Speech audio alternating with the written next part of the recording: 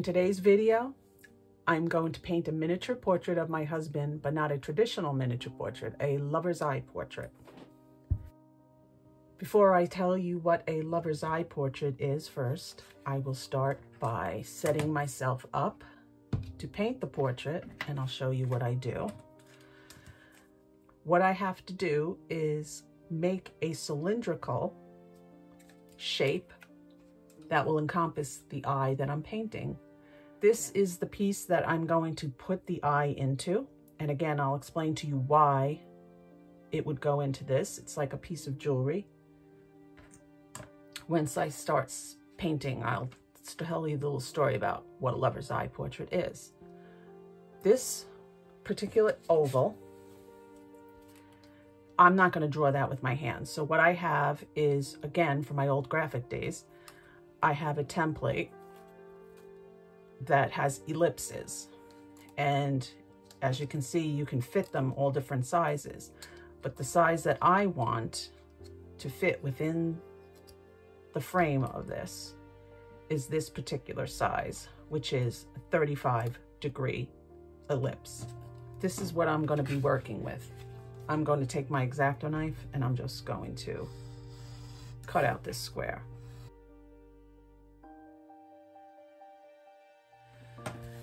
That's where the eye is going. That is going to fit into here and hopefully it'll come out the way that we're hoping it will.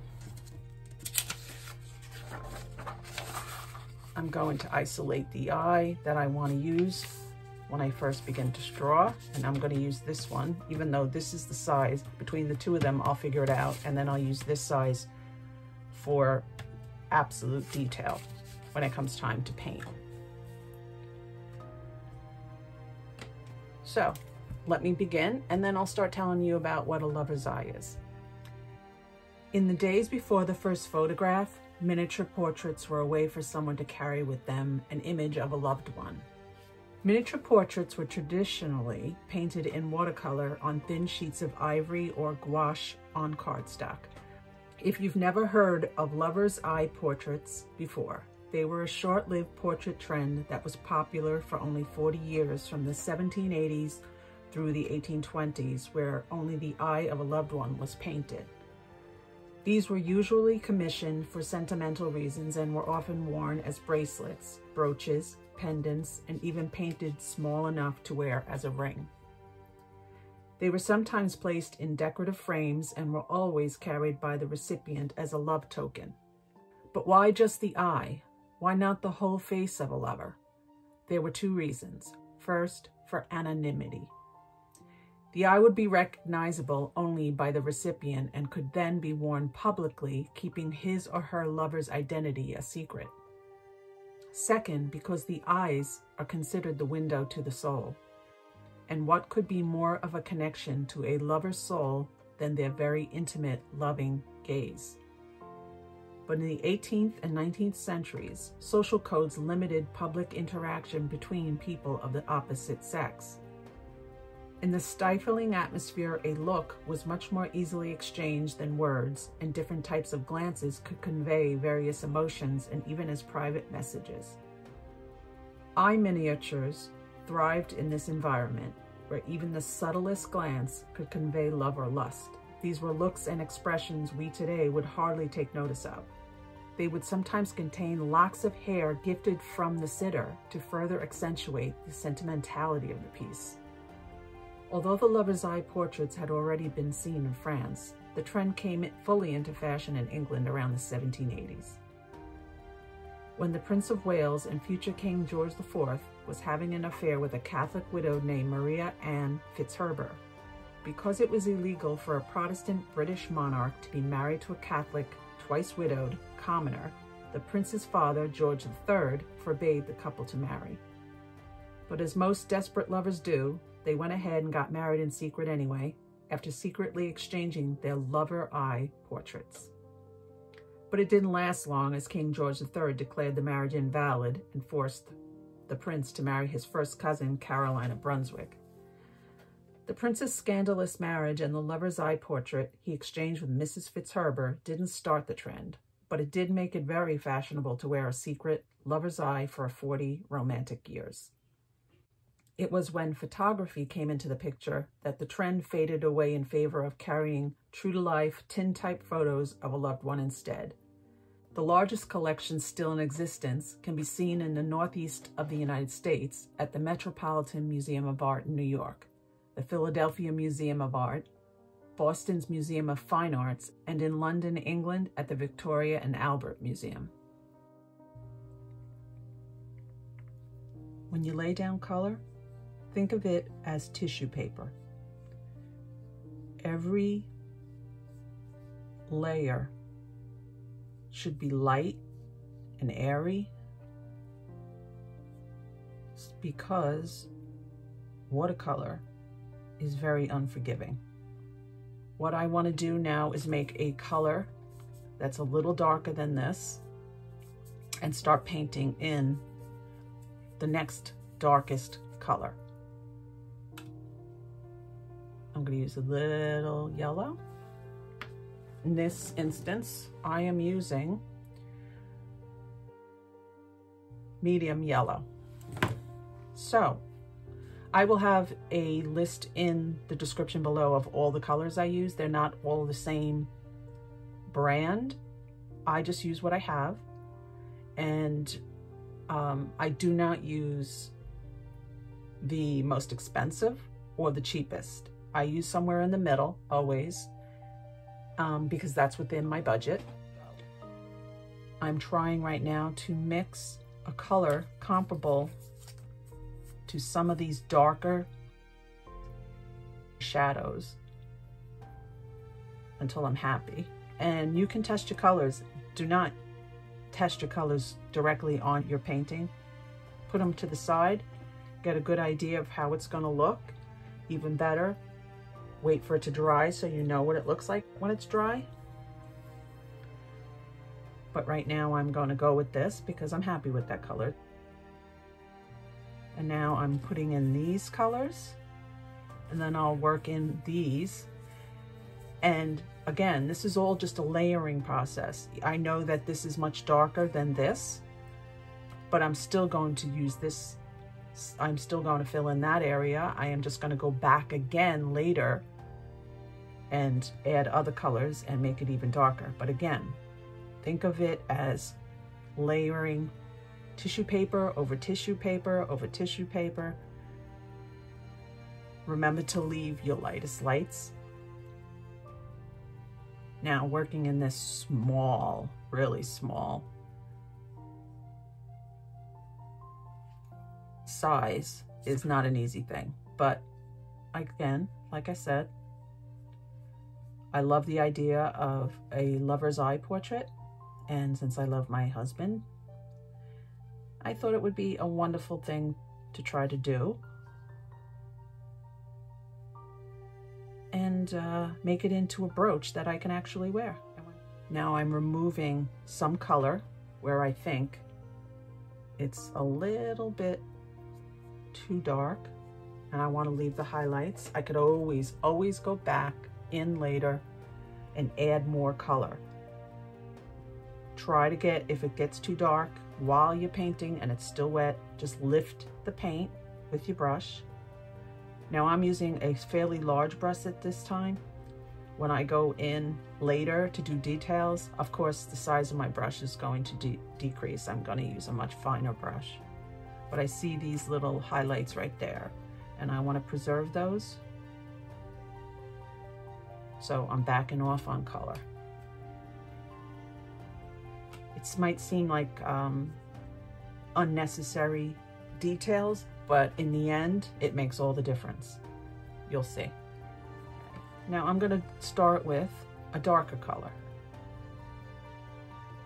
And how I'm gonna do that is I'm gonna add just a little more of the red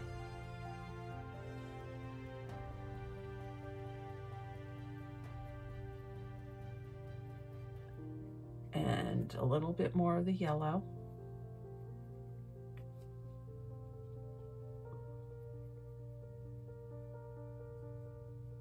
And then, believe it or not, I'm going to just add a dab of blue. Now you see how it made a brown. It's a grayish brown because of the blue, but it still has enough of a warm tone to it. And again, I'm not just going to put it right onto the painting, I'm going to test it. Now that's a little too dark. For now, that's a color I could use later, but for now, it's much too dark. And I think I'm going to go down a size in my brush. Now my brushes are not expensive. I am the person that buys the deal at Michael's or Joann's. Now this is, like I said, is a little too brown, so I'm going to lighten it up a little with more with the flesh tone. There we go. That's more what I was looking for.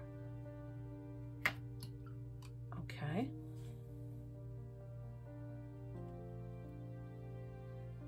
And if I step all over my words, please forgive me. I am actually a very quiet person.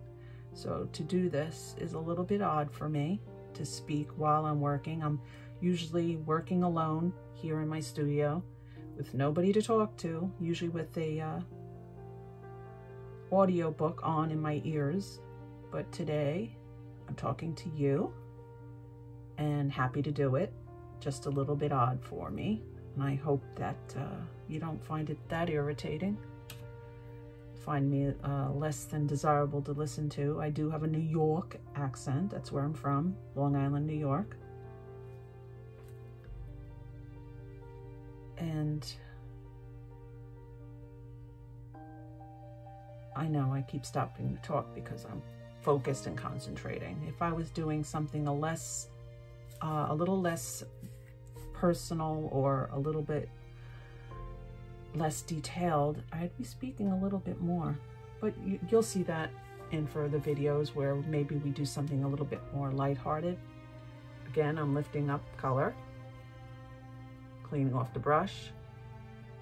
Use even the water sparingly. Everything done in watercolor is done sparingly, unless you are a bold, doing a large, bold work, then go all out and allow those hard edges to define your artwork. But if that's not what you want, especially on something like this, you, uh, you have to work very lightly and in layer upon layer. It takes a lot of patience, I can tell you that. Like right now I'm looking at here along his eye, it's lighter. So I'm gonna lift that. I don't like how it looks. So I'll just keep trying to lift it. A little bit at a time. Patience. That's what it's all about. I am painting in the shading more than anything.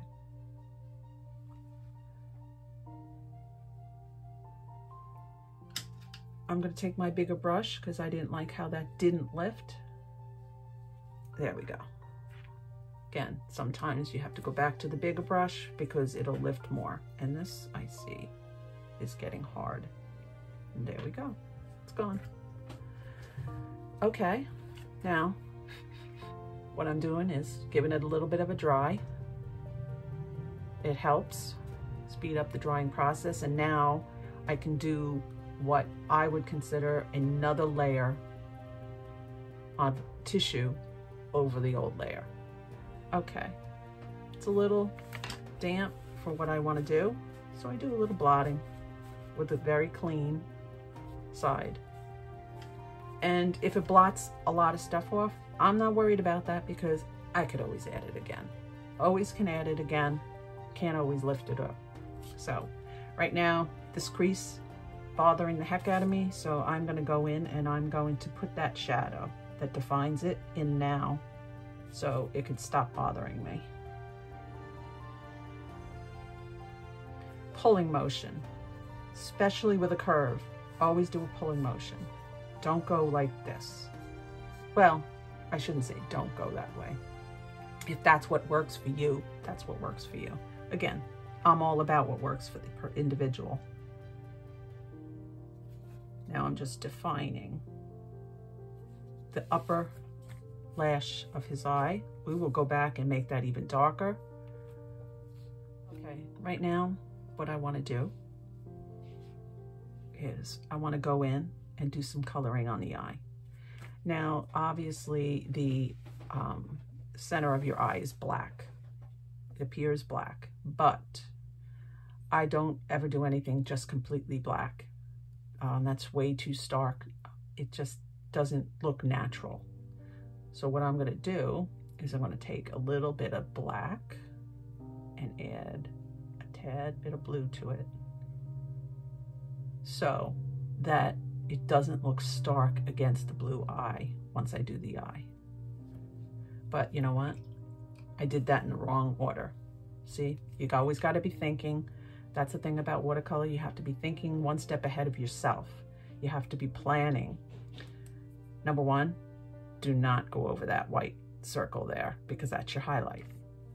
Number two, do the blue, under blue first so that you could do the darker color over. If you try to do it the other way and you do the dark first, which was what I was about to do, you're going to bleed that black and it's just going to ruin the whole eye. So first, lighter colors first, darker colors after.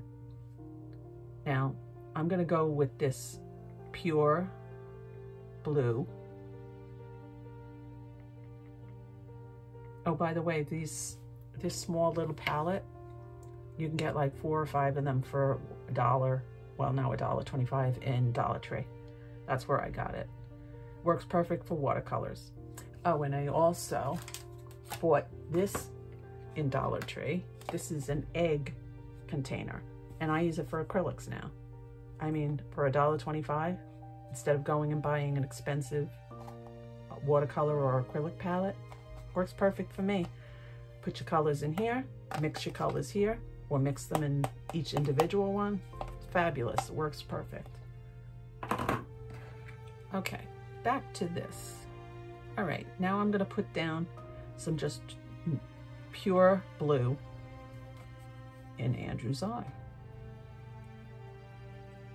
Just so I can, at this point,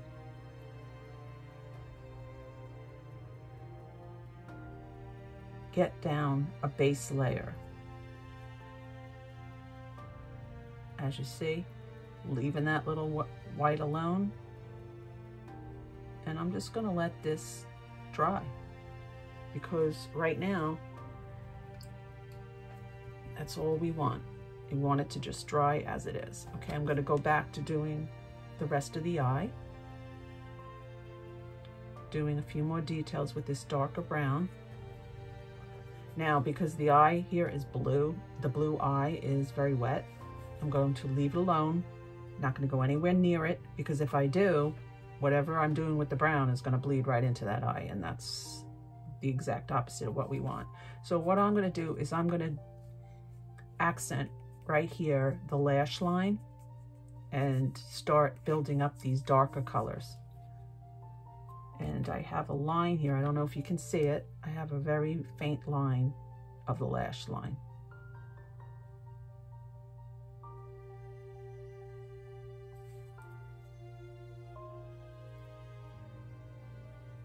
Okay. And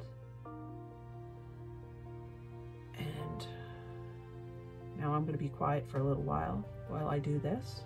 And uh, if you have any questions, if I forget to tell you something and you have any questions about what it is that I'm doing each step, please leave comments.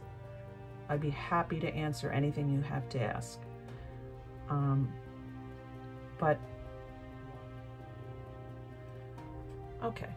So now I'm ready to do a little bit more in the inner eye, around the iris.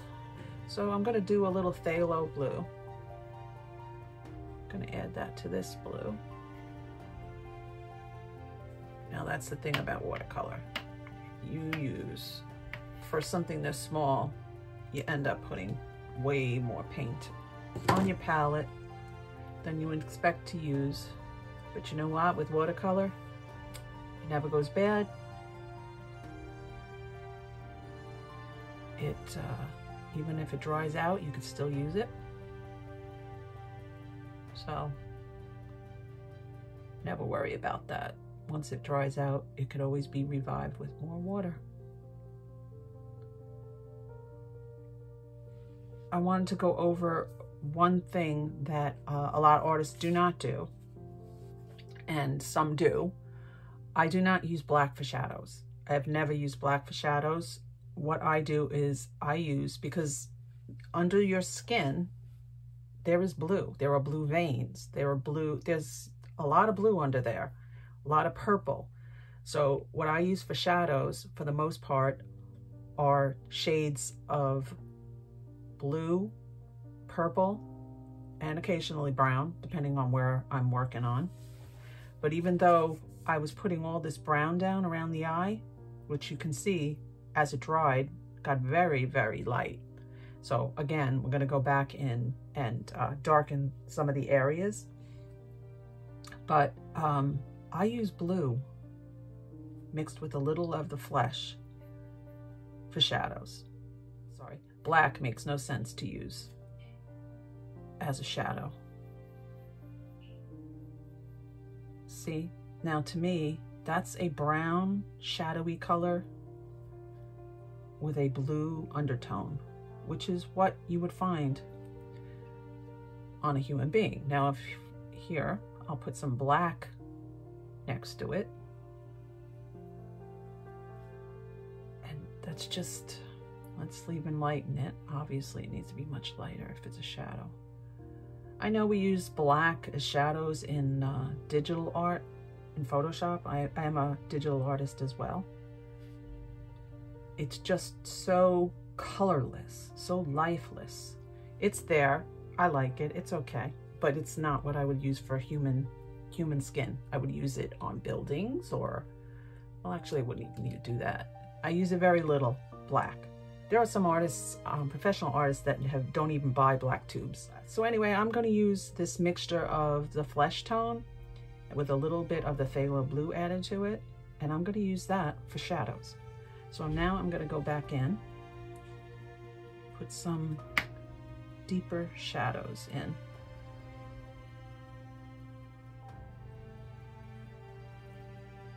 And right here, I'm going to do right here, this brow bone into the nose. That needs some serious shadow.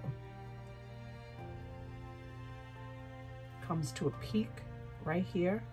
Oh, see now, I see now doing this, I can see where I went wrong with this line. I have it out too far. It should be over here. So again, correct yourself. If you come across something that's just not working and study it. Try to figure out why it's not working. And don't get frustrated because you will figure it out.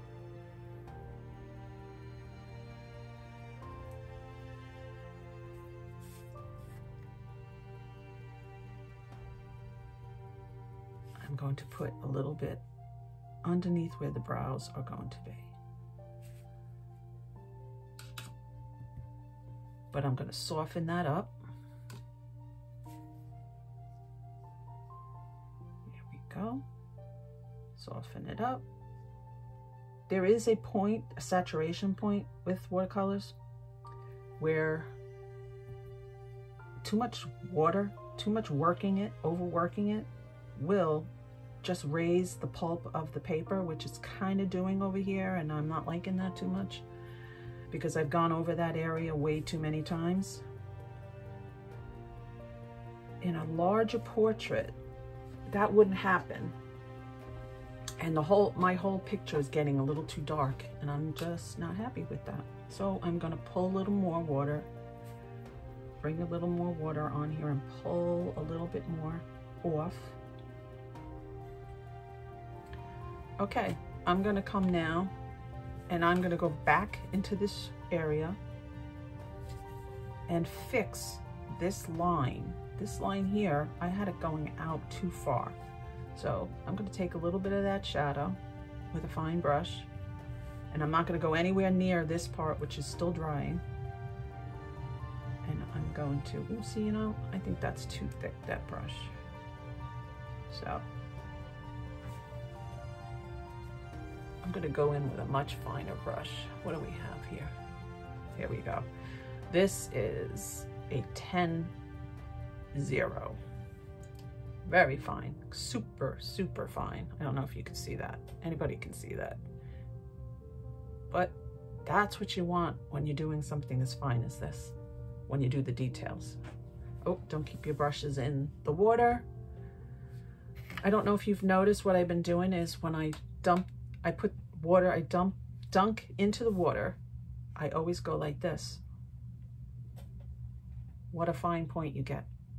That's what you want. Just go like that. Roll it out. Roll it out. Do it with this one too. Put it in. Tap off the water. Roll it out. And you got a nice fine tip. Now we're going to do this one. This one especially. Look how fine that is. That's like the head of a pin, which is what you need in something like this. So that's what I'm going to use now going forward to do all the I'm gonna go this way because remember pull out pull out pull towards you for me that's what works now I'm going to even change this and move this into position with me so I can see exactly what I'm doing I want to make this line but I have to bring this part of it forward. I had it out too far.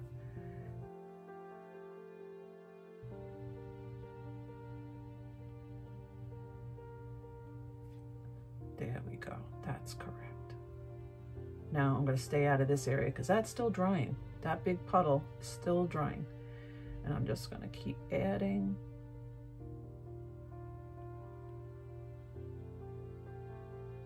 Okay. Now that makes more sense. I'm going to lighten it up, start adding some life into this with a little bit of red, or what color is this? This is crimson. So we're gonna add a little bit of crimson red to bring some life into this eye so that he doesn't look like he's a zombie that's been dead for weeks on end. And just add it wherever we need to add some life. Now, definitely needed here. And I'm just going to dab it. At this point, dab. Don't brush because you're just going to upset whatever you did before. Here we have preserved a little of that. Now I'm hoping that this all dries much lighter than it appears. Now this line, that lash line, that's gotta go. That heavy, hard line. Yeah, he's got lashes, but he's a boy. He's not a girl. So we don't, for men, we kind of want to soften that line. We don't want him to look like he had guy liner on. Because trust me, my husband's never had guy liner on. Anyway, so soften, soften, soften. And if you're wondering, I preserved those two white. I'm going to go back in and erase those little lines that are around the white. It's going to be a very um, light job because if you erase too hard, you actually will lift up some of the watercolor. But I will not do that until the watercolor is completely 100% dry this paper is going to have to be completely dry before you try even attempt to lift up color. I mean, uh, the pencil. So, okay, I'm going, I'm going to start, stop futzing with the coloring around his eye. I'm going to let it dry. Then I will go back in with my super fine 10, 0, and then I will do a few more um, details on it. But until then, I'm going to work on the eye, the iris. Okay, now put another layer. I don't know if you guys are even seeing what I'm doing here because like I, you, you would know from my channel, this is all new to me. Okay, um, here we go. Putting another layer of blue.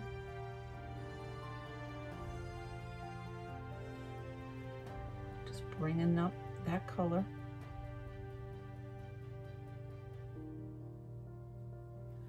Now while it's wet, I'm going to go in with some of the phthalo blue, the darker blue.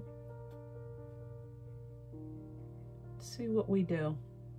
See how this works out. If we, and I always make sure it's heavily watered. I don't want it to be full on pigment. That won't help us out at all. Oh, see how it just, whoop. but I kind of like that because it preserved where I did not get close to where the black part of the eye is. It left it very, a tad bit of light blue. Kind of like that. I'm going to put a little bit more life back in, like I did earlier,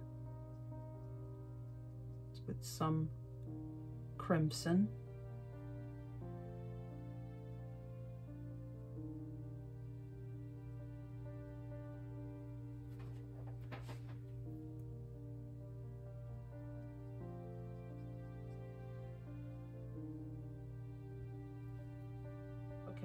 What I'm gonna do is on the white of the eye, by the way. Okay, I'm just adding this blue to the eye to close up that space because apparently Andrew was looking to the side, much more to the side than I realized. And we'll make up for that over here. But while I'm doing that, I'm gonna pull a little bit of this blue. Oh shoot, it went into there, see? Patience, people, patience. I have no patience. Okay.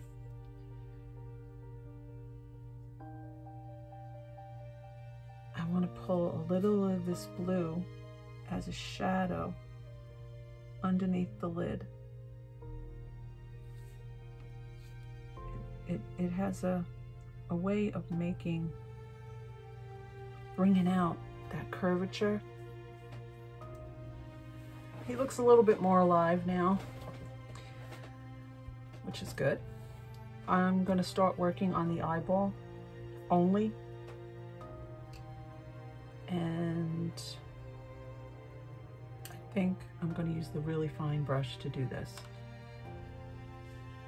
Really fine brush.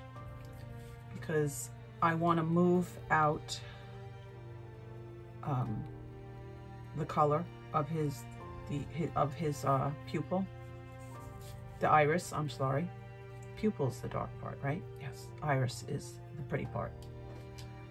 Okay, so I am going over here. That's not dark enough. I'm gonna go and bring the iris over here.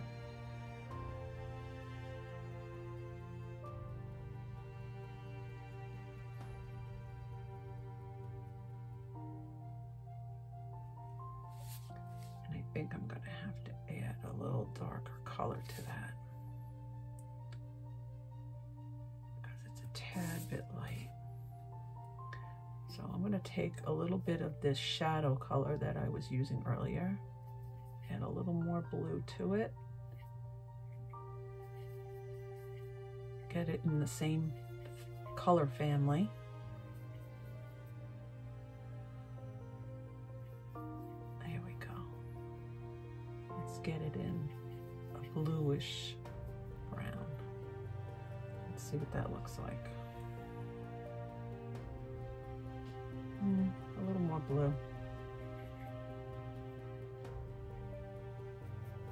A lot more blue, I guess, right? So it's more of a teal. Color is everything, isn't it? Oh, too much sometimes, and that's because I'm using this little brush and that just doesn't work.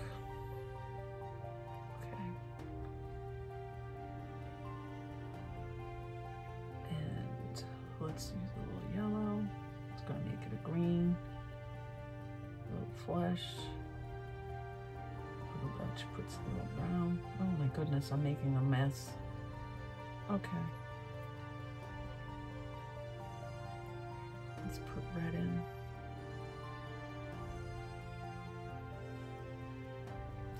Just keep mixing until you get the right color because this is not working for me.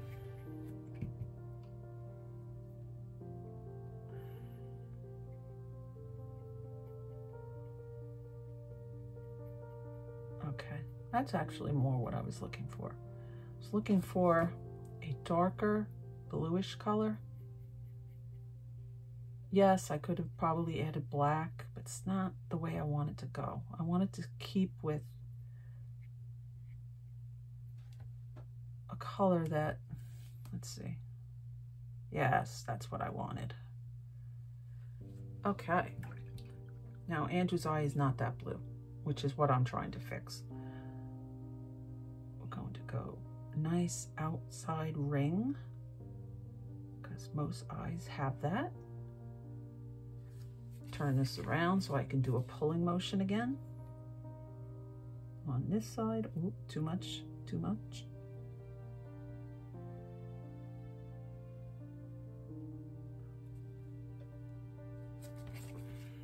see how that looks. Now this, I did too much. So we're gonna pull a little of this back. Now let me tell you something. There were certain watercolors that are staining watercolors. And this is one of them, Phthalo blue, which is what I was using. Has a tendency to, to work as a stain and will actually stain the paper, but I'm not too bothered by it because it's working to my advantage as making this appear like, oh, sugar. See, I just added a whole dollop of water by mistake. Wasn't paying attention. Let's suck some of that up. Suck some of it up. I'm gonna use this brush. And it, if I don't get it, it's gonna start to bleed. Okay, see? You don't pick it up, dry the brush, put it over there, and it's gonna pick everything up. I keep moving the center of the eye. That's why the center of the eye is where it is. And let's go with this. See, it's blue. It's dark. Just going to, leaving this, a little bit of this bright blue. I'm gonna leave it, but I'm going to outline the eye. Staying away from that edge. Even with the finest brush, sometimes it just gets away from you. It just really does. It's what makes watercolor so difficult.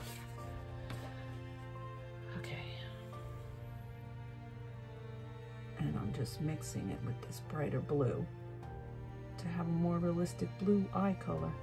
I didn't want it to be teal because no one has teal eyes, especially Andrew. Oop. I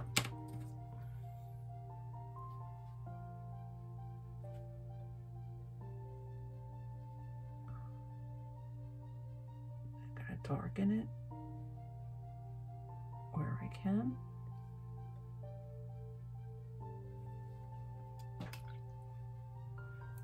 Just now you see how this is a little bit lighter? What I'm gonna do is let this dry.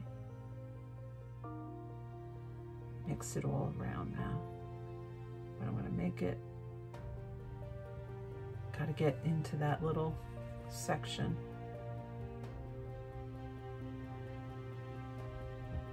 I'm gonna add the black or the pupil last.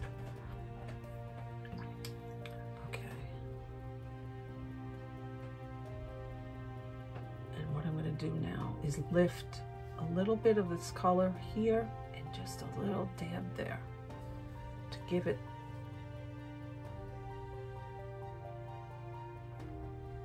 some sparkle.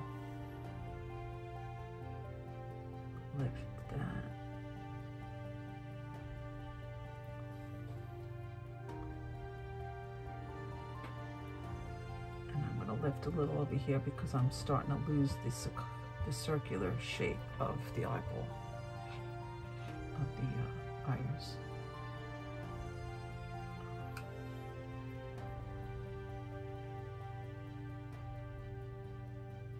Okay. Now, while that's drying, I'm going to go back and attempt the finest line I possibly can make of a fold of his eye. I'm going to go in and I'm going to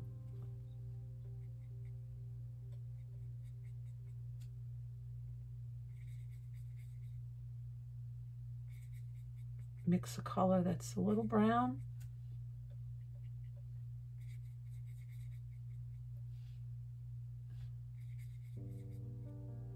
some of the blue in there. Get myself a nice brown color. That's good.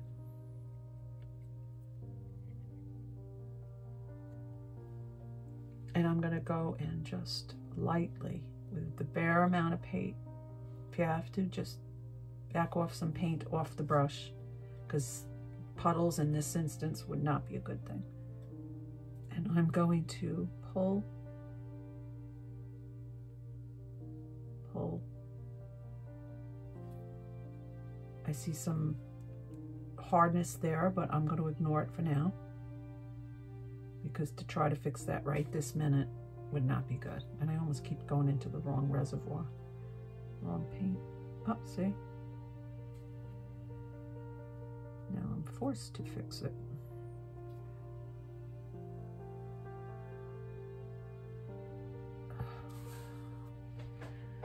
Even listening to myself. I'm telling you guys what to do, and I'm not even listening to myself. It's not good. Back off some of this.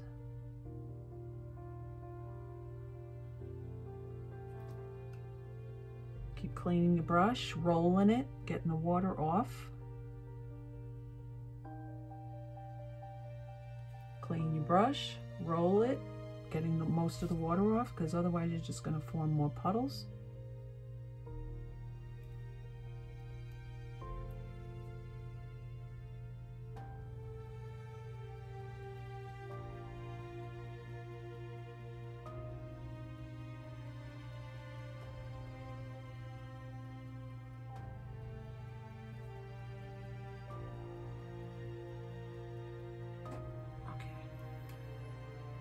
So now I'm going to go in and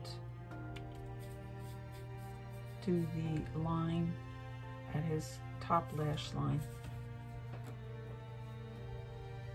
See how much paint we have. Don't want to puddle it.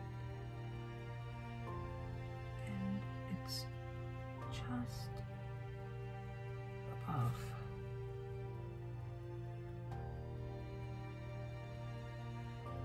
ever so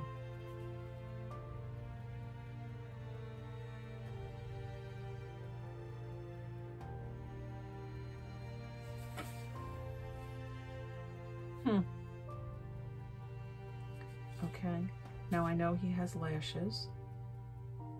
So what I'm going to do is I'm just going to do this merest, put a lot of water in this. I'm going to do the tiniest hint.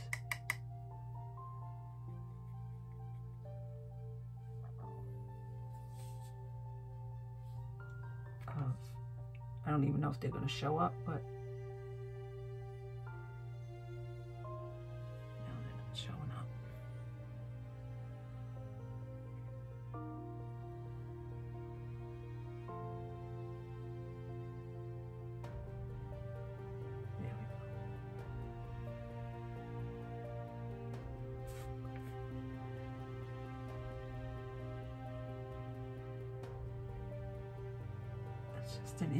indication of them. When they dry, they'll dry much lighter. And the same thing with the bottom. I just want to do the slightest indication.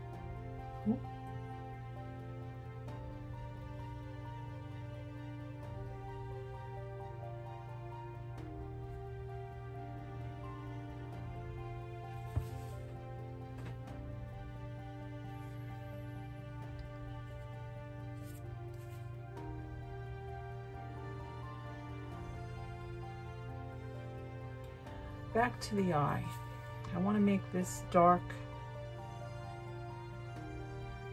a little darker around the iris.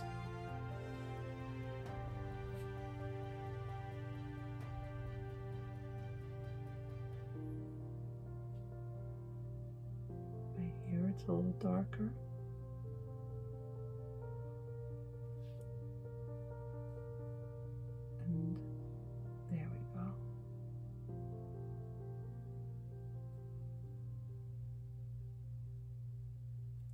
Dries, I'm going to put in the pupil and uh,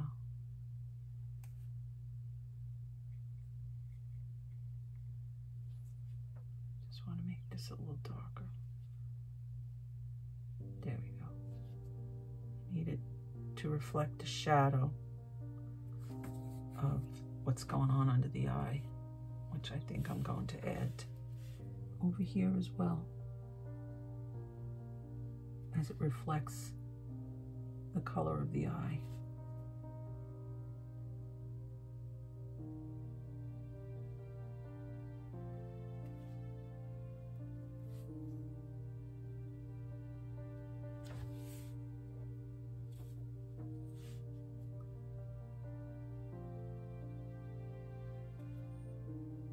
It's a better color than I was using of the brown.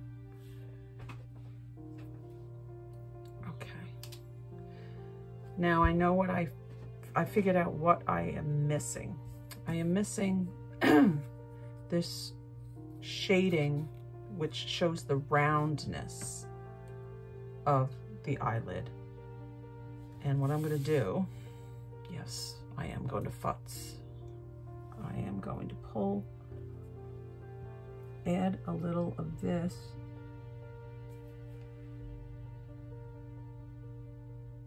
wear because I, I wasn't liking those top lashes anyway.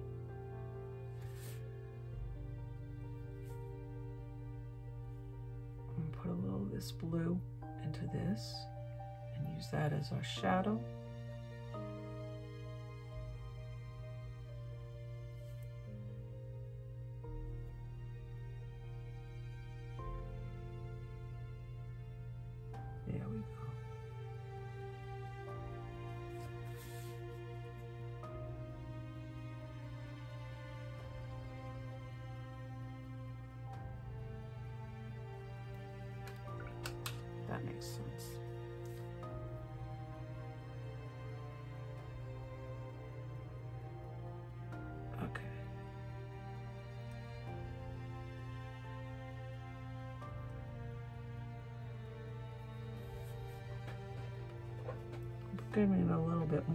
Dimension than it had, which is what I've been trying to do all this time, but it took me a while to figure out what it was that I was not doing correctly. And sometimes it does. Sometimes it takes you soften these.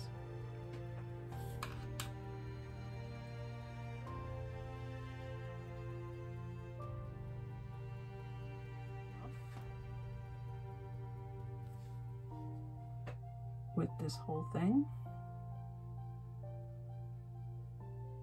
And it's going to take a couple of layers in order to, because I'm not doing this just straight on black. Remember, I put a little blue into this.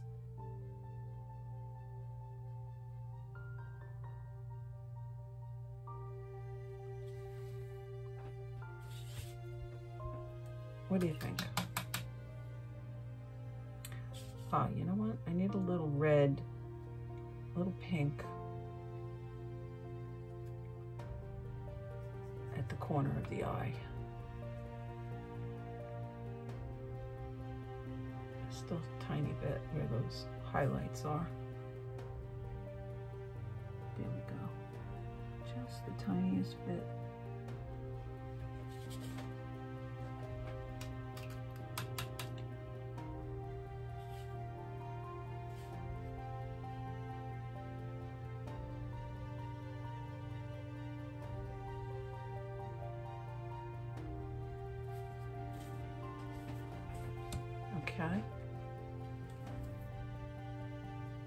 Back in with that bluish black that I had created earlier.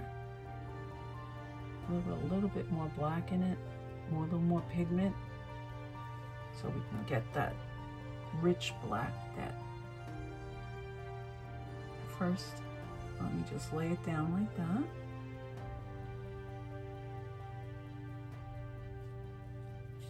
it's amazing how putting the black pupil down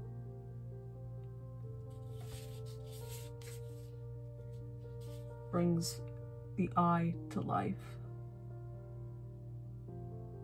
because I guess it's not really the iris that makes the difference.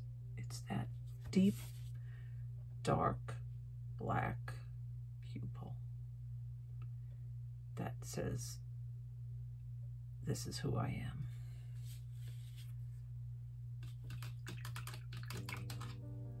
Not sure? What do you think? Am I done? Am I done futzing? Am I done playing and overworking this piece? I think I am. I think I want to just stop now because I'm afraid that if I keep going and fixing all the things I'm looking at that I find completely wrong, um, like this right here. Oh, I could just keep going all day. So, um, I think I'm done. It's not really what I wanted, but it's not the worst thing I've ever done. Um, Oh God, I see so many things that need to be fixed. I see so much.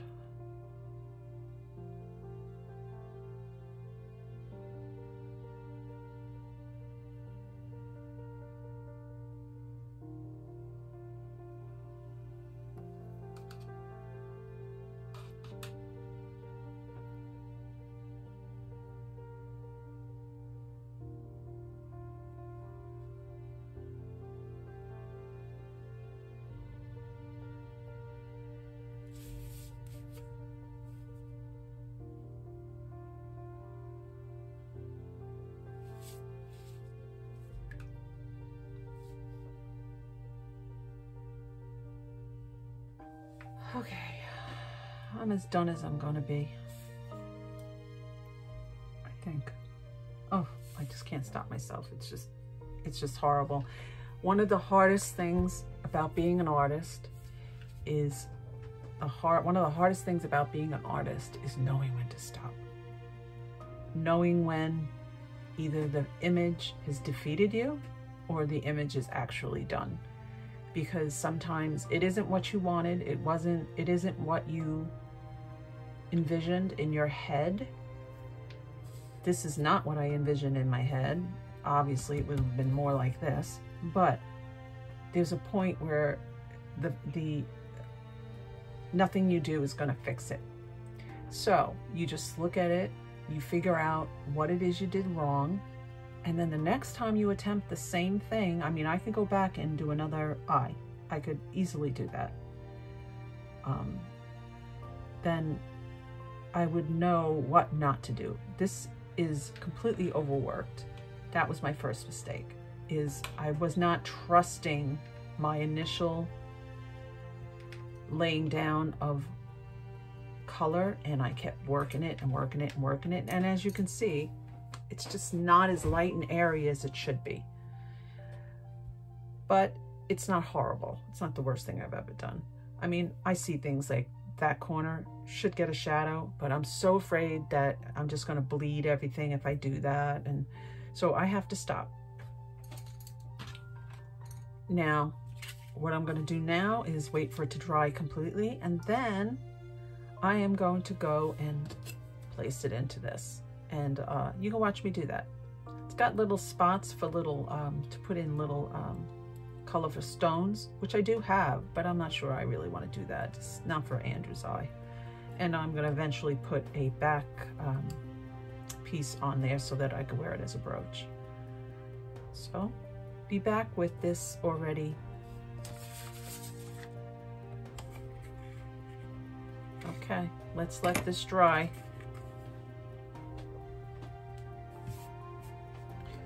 Okay, now it's time to cut out the eye to place in the brooch. I'm just going to use regular tacky glue and I'm going to cut out the eye with a scissor. I could do it with an X-Acto knife, but you have to be a precision cutter with an X-Acto knife for it to work. I do much better with a small, very sharp scissor.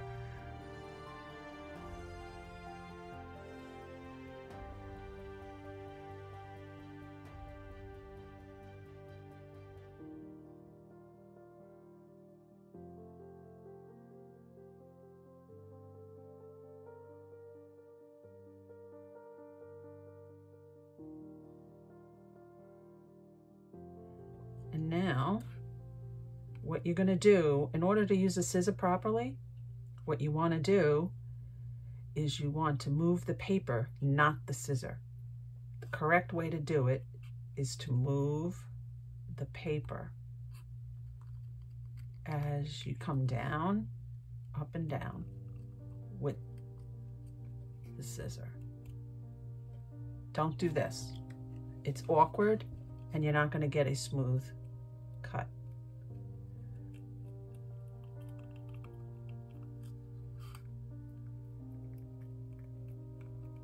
I am just following that pencil line as much as I can see it.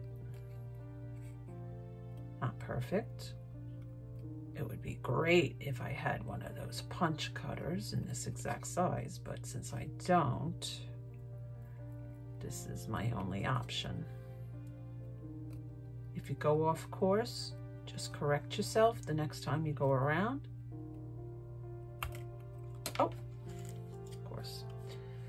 And there you go. Now I see that this curve looks a little bit off than this curve, but the best way to tell, oh, it's much smaller than I thought it would be. But that's what it's gonna look like when it's in the frame and I'm okay with that. Oh, I only see one little doohickey right here. That looks wrong. Let's snip that. And there you go. Quite possible we could have used the next elliptical size up, but um, I'm always afraid that it would be too big but there you go. So now let's glue that in. Now I haven't gone back in and gotten rid of those uh, pencil marks because I want this to dry overnight before I even attempt that. So what I'm gonna do is I'm going to put the glue directly on lightly. You just remember to glue lightly. You don't want any more wet medium on here than you need to have. And I am a hand spreader. I don't use a brush. I do everything with my hands. Minimal amount of glue. Place it in here. I am a little bit off here, but you know what? That's fine. Then I'm gonna press it down.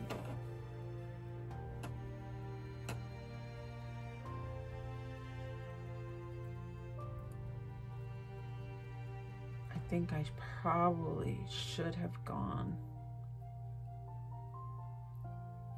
with a stronger adhesive. Let's see if this comes up easy. No, it's not coming up easy, so just keep pressing down the edge. Clean, dry hand, finger.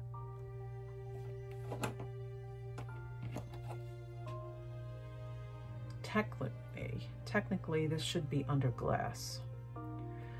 Another thing I could do is pour resin over this to seal it.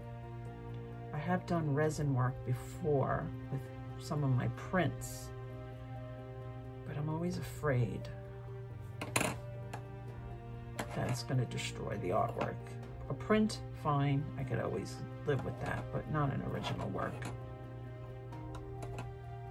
Okay, so there it is. Andrew's eye as a lover's eye portrait.